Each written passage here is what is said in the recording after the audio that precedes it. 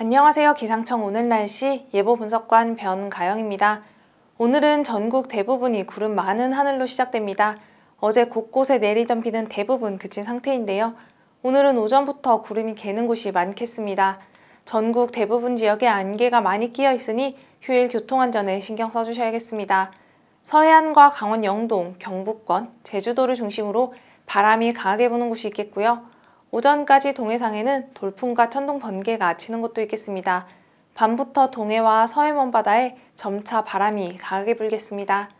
전국 기온 알아봅니다. 아침 기온은 8에서 16도로 시작되는데요. 아침 저녁이 쌀쌀한 만큼 건강관리 유의하셔야겠습니다. 낮과 밤의 기온차도 10도 내외로 크게 나겠는데요. 오늘 낮 기온은 19에서 24도를 보일 것으로 예상됩니다. 서울은 21도, 강릉은 24도, 대전은 21도, 대구는 22도, 부산은 24도를 보이겠습니다.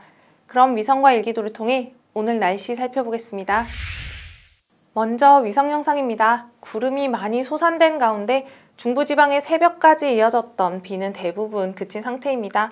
하지만 곳곳에 안개가 탐지되고 있는 상태인데요. 그런 만큼 교통안전에도 특히 유의해 주셔야겠습니다. 전라권 서부와 제주도는 아침까지 고기압의 가장자리에서 채 그치지 못한 빗방울들이 떨어지는 곳도 있겠지만 그 양은 0.1mm 미만으로 적겠습니다. 지상 일기도 살펴봅니다. 현재 우리나라 대부분 지역은 중국 산, 북부지방에서 산둥반도 부근으로 이동하는 고기압 가장자리에 들어있는데요. 이 고기압 가장자리에서 가끔 구름 많은 하늘을 보이겠습니다. 별다른 비 소식은 없지만 오늘은 중부 서해안과 강원 영동, 남부지방 그리고 제주도를 중심으로 순간적으로 바람이 강하게 부는 곳도 있겠습니다. 다음으로 대기 하층 1.5km 부근의 기온과 습도를 함께 나타내주는 상당운이 예상장을 살펴보겠습니다. 저녁이 되면 보라색으로 나타나는 차고 건조한 공기가 점차 한반도를 향해 다가오는 것을 알 수 있습니다. 때문에 오늘 저녁부터는 꽤 추워지는 곳이 많겠으니 따스하게 입으시는 것이 좋겠습니다. 다음으로 해상 전망입니다. 오전까지 기압골이 아직 모두 빠져나가지 않은 동해상에는 돌풍이 불고 천둥 번개가 치는 곳이 있겠는데요. 고기압권에서 북서풍 계열의 바람이 불면서 오늘 밤부터는 동해 중부 먼바다, 서해 먼바다에 바람이 점차 강해지겠습니다. 따라서 해상 조업하실 때는 언제나 안전사고 유의해 주셔야겠습니다. 기온 전망입니다.